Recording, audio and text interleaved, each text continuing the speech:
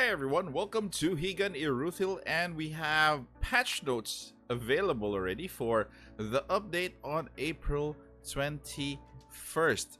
Okay, so we have here all new content, preview, and we have an event featuring um, and basically Icicle here. Icicle in Sheru is not yet in our database so they are two new characters that uh, we are going to be receiving.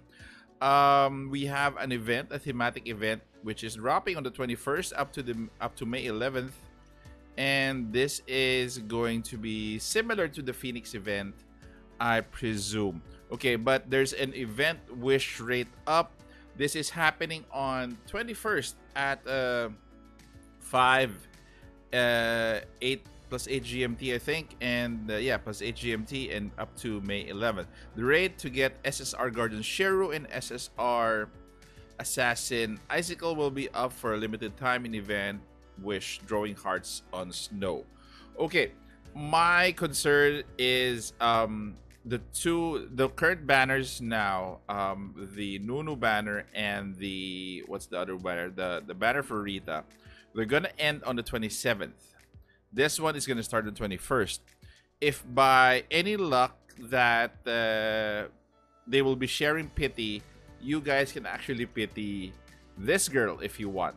Um, I would only recommend that you pity Sheru if you guys don't have an alternate or an alternate uh, guardian. Like for example, me, I only have Gildan. I don't have Caesar. I might consider getting Sheru in this event, even for pity, if the current banners are, you know, the the Nunu and Rita banner, and this banner will be sharing a pity. That I may consider because right now I have um, 47, I think, for the pity. So I might as well, you know, get her the pity if they will be shared. But before that, let's take a look at. Um, at what do you call this at uh, Sheru's uh, skills. These are these are preview to her skills. So we have um, references here from you know from soft launch. This is actually Sheru. This is her passive. So that you have at least information if you really want to decide to get her or not. Uh, just in case if you are still thinking about it. So this is her passive. Upon using a skill, gains Frost Sugar Coat, disables basic attacks. This might really be against Cerslet if you're looking to have an a somebody who is going to be against Cerslet. This is, I think, your girl.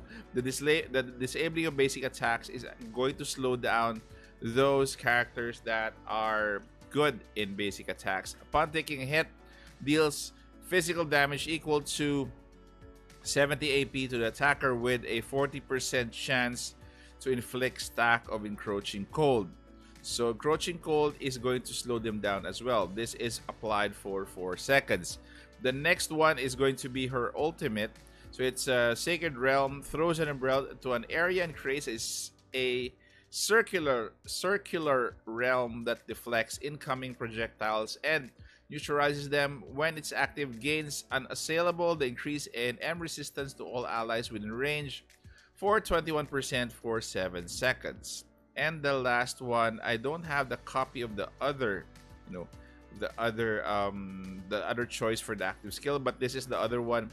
Anemo Snow, uh, enter Frost Prism stats. Frost Prism is Sheru raises her umbrella to deflect incoming projectiles to the attacker with the same effect. The counter attack deals physical damage equal to 350 MRS and its effect and its effect lasts for 3 seconds. So she is actually a nice addition to your team. Um most will not go for her because most have Gildan and Caesar already.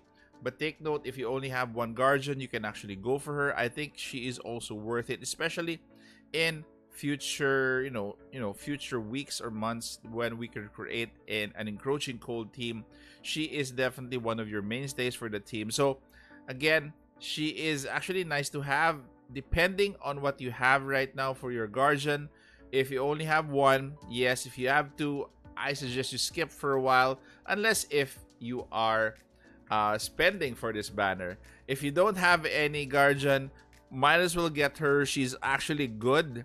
So those are my thoughts for her. So what do you think of her kit, guys? For Sheru's kit, would you be pulling for her? I'd like to hear your thoughts in the comment section. And thank you very much, guys, for staying this far. Take care, stay safe. This is the Warden, and I'm out of here.